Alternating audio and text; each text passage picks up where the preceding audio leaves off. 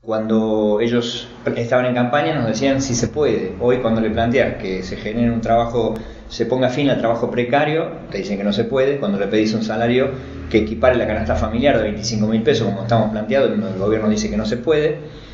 Y cuando planteamos una jornada laboral de 6 horas, nuestra propuesta, queremos que sea ley esta propuesta, prohibir el trabajo precario y una jornada de 6 horas para reducir la jornada laboral, así como en el siglo pasado se redujo de 12 a 8 horas, Creemos que hoy el desarrollo de la humanidad y la tecnología permite trabajar seis horas, trabajar menos y trabajar todos. Eso generaría una nueva jornada de trabajo, un nuevo, digamos, un turno más laboral y permitiría dar mayor cantidad de trabajo, pero tiene que ser trabajo en blanco. Nosotros en el Estado estamos reclamando una ley opuesta un poco a lo que Vidal ha, resuelto con el acompañamiento lamentable de toda la oposición, del randacismo, del kirchnerismo, del masismo, y demás que le han votado una ley que es flexibilizadora, es decir, que no establece el empleo en blanco. Nosotros queremos que todos tienen que pasar a planta permanente, los contratados, y creemos que las empresas también hay que hacer lo mismo. Nosotros fundamentalmente estamos insistiendo con esta necesidad de dar una salida a la juventud, porque vemos que es el sector más afectado, el 25% de desocupación afecta a la juventud, en particular a las mujeres, muchas de ellas madres solteras, chicas que abandonan incluso el secundario por embarazo precario, eh, digamos, anticipado. entonces, hay un problema que afecta esencialmente a los jóvenes y queremos darle respuesta. En mi caso, yo soy candidato en primer orden eh, por el MST en Izquierda al Frente. Acompañamos a senadora a Vilma Ripoll, que va a ser senadora, proponemos que sea senadora nacional, Manuela Castañeira, diputada nacional, con Guillermo Paganini, dirigente de la CICOP, y eh, que va también como candidato a diputado nacional. Y en La Plata queremos impulsar justamente esta propuesta de ley de prohibir el trabajo precario, 6 horas de trabajo y 25 mil pesos. Y nos parece muy preocupante que los compañeros del FIT, del Caño, Pitrol y demás, en lugar de impugnar, por ejemplo, al nazi fascista Biondini se preocupen por impugnar a izquierda al frente por el socialismo, que es una alternativa más de la izquierda. Ah, va a haber dos frentes. Creemos que eso los pone nerviosos. En La Rioja hemos tenido un debut de izquierda al frente y superamos ampliamente a los compañeros de FIT. Quizás eso, el hecho de ser la única izquierda en la provincia de Rioja hasta ahora y hoy aparecer como izquierda al frente superando, los ha llevado a poner una serie de impugnaciones que son realmente preocupantes, es decir, impugnan el nombre izquierda, impugnan el nombre frente, impugnan el color rojo, son todas palabras y terminologías que de conjunto a la izquierda tenemos y, la palabra socialismo y demás.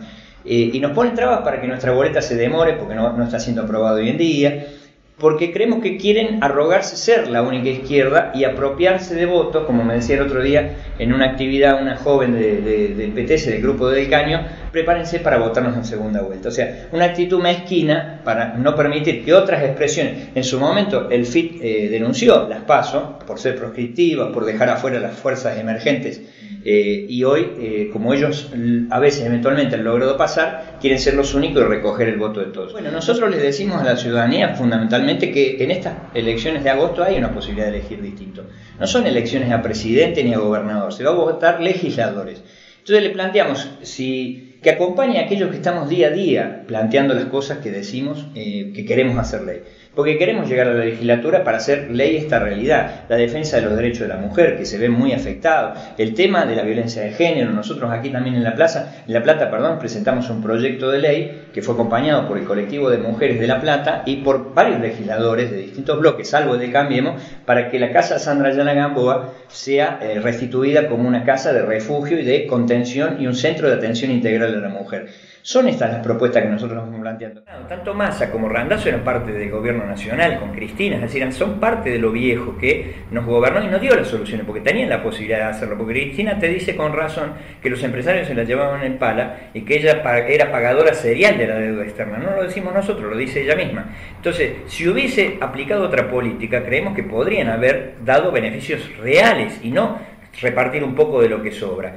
Entonces, creemos que han sido gobierno. Hoy en día en Santa Cruz, la hermana del expresidente Kirchner ajusta fuertemente a los trabajadores. Y ha habido represión. Le ofrece 0% de aumento a los maestros. Es la única provincia donde empezaron la clase. Incluso el gobierno nacional, producto del conflicto, le ha girado eh, fondos días atrás y la gobernadora no los pone a disposición de los maestros, entonces no quieren abrir las cuentas en la provincia de Santa Cruz. Bueno, nos parece que donde gobiernan, si donde gobiernan eh, hacen lo mismo, aplican el mismo ajuste, también reprimen, y cuando también lo hicimos, creemos que no son alternativas al macrismo. Para pararle la mano, llamamos a la sociedad que acompañe a Izquierda del Frente, a Vilma Ripoll, a Guillermo Paganini, Manuela Castañera y otros candidatos que estamos codo a codo luchando todos los días.